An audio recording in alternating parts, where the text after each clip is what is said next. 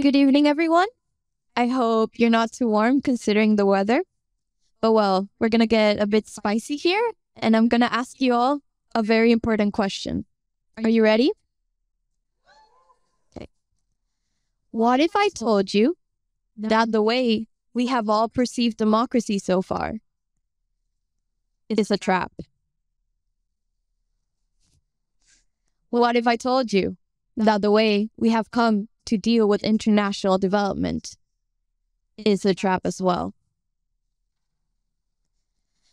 You're all probably now thinking, who even is this lady on stage? But don't fear, I've got you. I will explain everything. So, my story starts uh, a few weeks ago. I was invited to form part of the Iberian Forum of the European Youth Parliament. For those who don't know, the European Youth Parliament is an organization that was founded in 1987. Its goal was to create active citizenship, to create conversation, in which often the debates that go on in the European Youth Parliament actually get sent to actual parliament members. But to be truthful, uh, my participation in the European Youth Parliament didn't start there.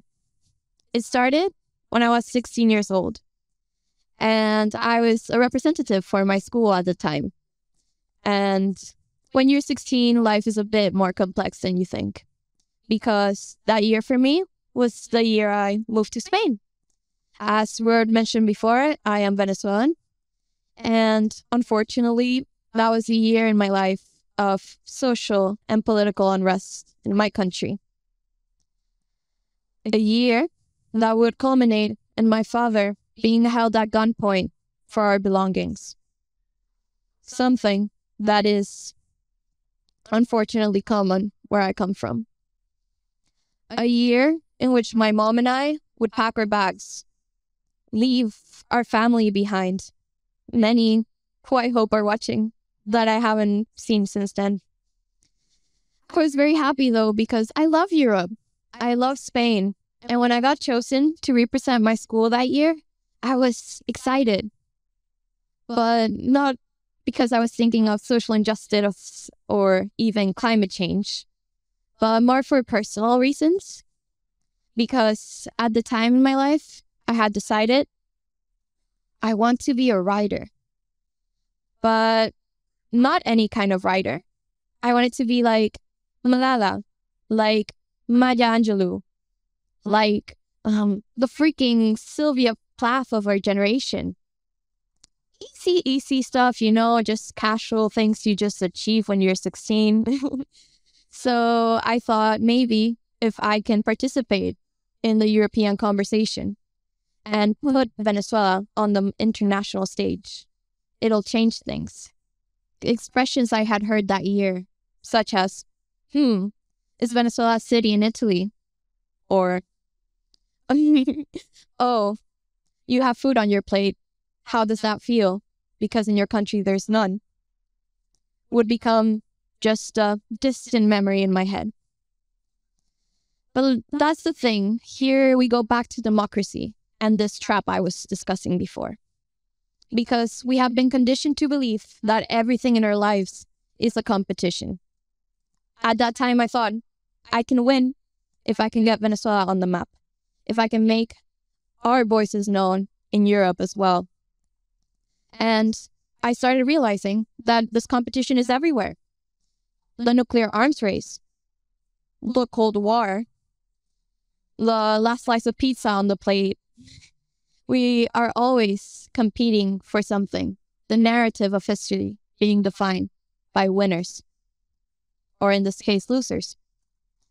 So when I didn't get selected at the time to continue being a representative of the European Youth Parliament, wow, I was shattered because I could not see how, if I didn't do this, I could make a change or even that my voice would be heard.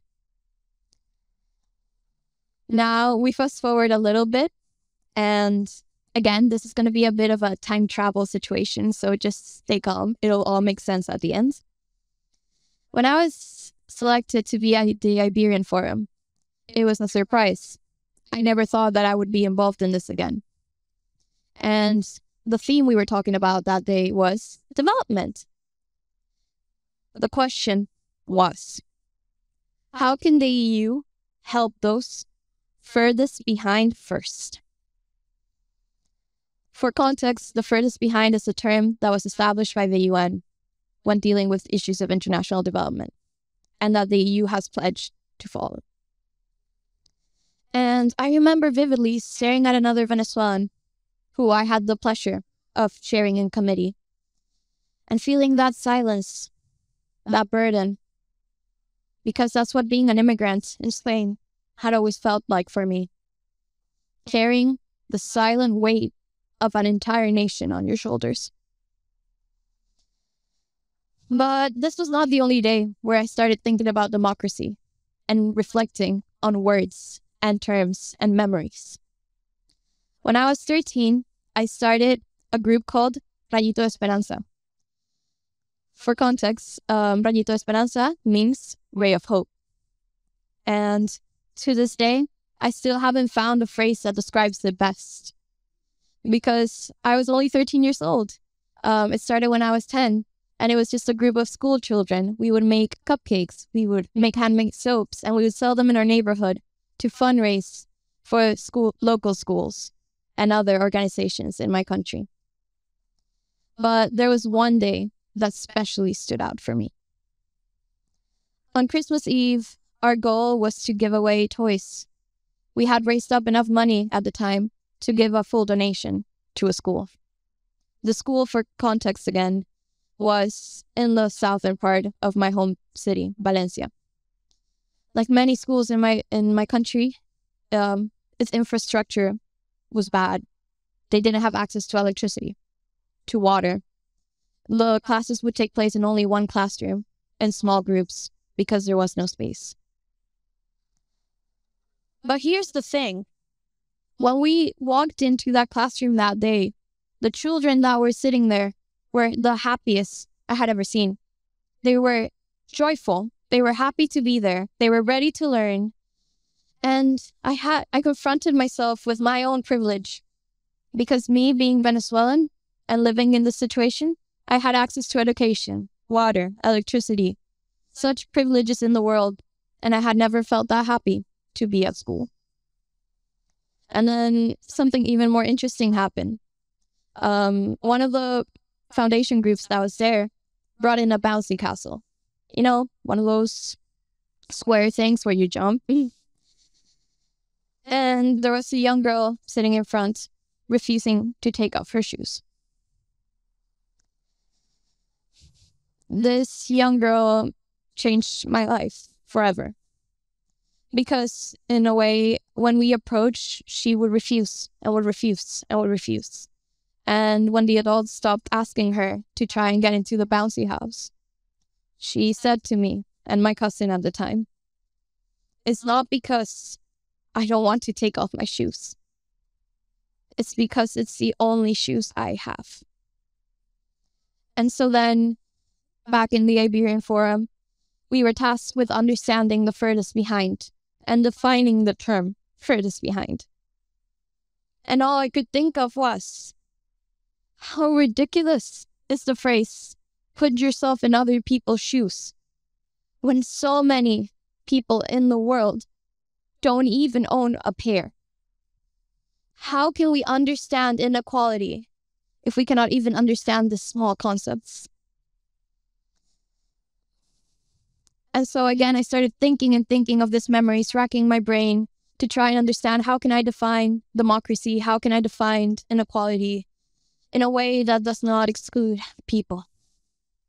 And I found another memory. That was in 2016. And it was the last donation I did with my youth group.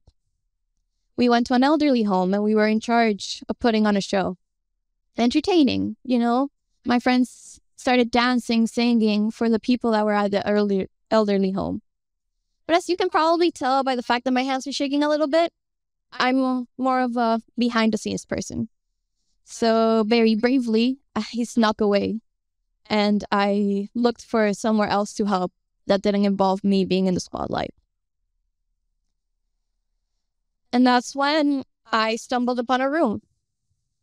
This room in particular was very eye catching because there were paintings all over the walls of natural treasures from my country and even from Europe.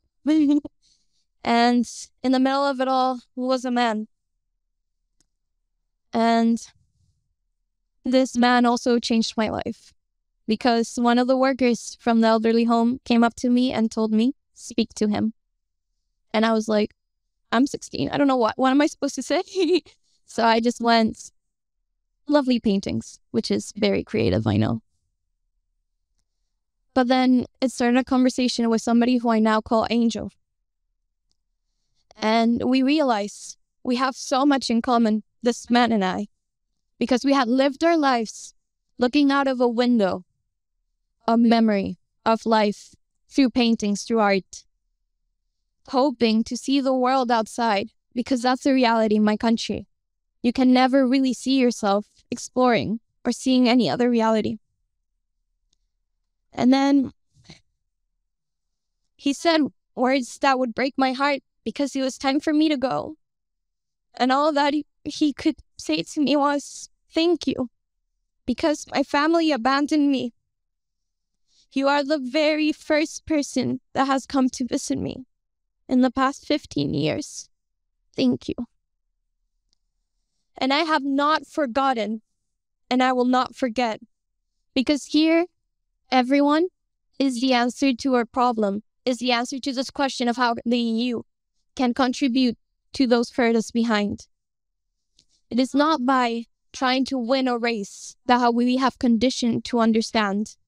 It is not by running ahead or just trying to come up with solutions, but rather listening, making a space like we're doing today through this talk, through other European um, initiatives such as European Youth Parliament, Erasmus Plus. It is only if we all sit down and listen to the voices of those that are being directly affected by the problem that we can find a solution. This year, 7 million people have been displaced across European borders. But unfortunately, um, that's only a 3% increase from the past years. So, 7 million, like 500 times as real, is reduced to 3%. We cannot keep on doing this. We cannot keep on trying to understand inequality through a lens that makes something so big, individual stories, just a number. The EU has been trying their best and doing their best to tackle these issues, especially with Ukraine. But there is still the problem that we are still not in, involved enough. Is, is there any Venezuelans here in the room? Please raise your hands. Exactly. Mm. We are also part of the European conversation. I am both Spanish and I am both Venezuelan. I am not one or the other. And in understanding this is how we can fulfill what democracy needs. Because, ladies, gentlemen, non binary people, here is where the answer is democracy is creating space, creating space for young voices that are not just the mainstream, but more than that. Democracy is in facing the truth and being brave enough to be vulnerable. Because it's terrifying to be here and telling you about my life when many of you will think, oh, she's not even European. But I am. And finally, democracy, more than anything else, is the little race of hope we find along the way. Thank you, everyone.